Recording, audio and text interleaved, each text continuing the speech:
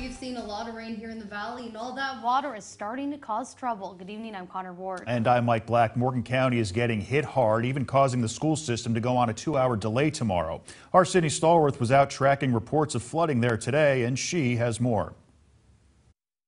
It might not look like it, but I'm standing in the middle of the road. Flooding has been impacting us across the valley. Here in the Lacey's Spring area, residents are feeling the effects. It's just, it's just too much for me. For me. So I, I've been staying at my girlfriend's, ex-girlfriend's down the road. Brandon is going back to his home for the first time in days. He lives off River Loop Road, right where the floodwaters are deepest. He says some of his family and friends decided to leave because of the flooding. Yeah, my uh, sister, she lives right next door to me, and they, they went to a hotel, I believe.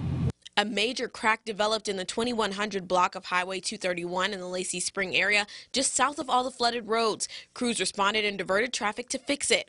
Some roads in the area are closed for driver safety. We met up with Morgan County Sheriff's Department to talk about how you should handle the situation when you're behind the wheel. Just don't try to cross it.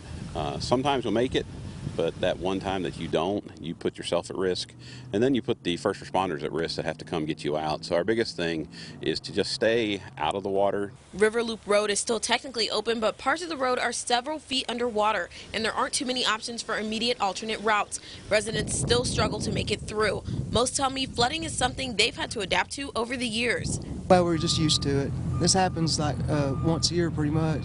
so, yeah, we just just make the best of it.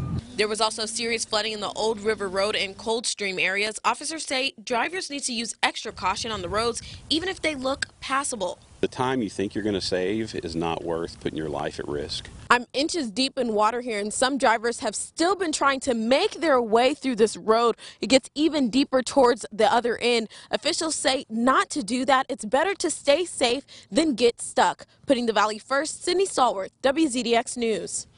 And Ditto Landing is now closed due to all the flooding. And looking at this video from today, it's easy to see why. The water is covering roads and walkways and goes right up to the sides of some of the buildings. They say Ditto Landing will reopen when it's safe for customers, patrons, and crew members.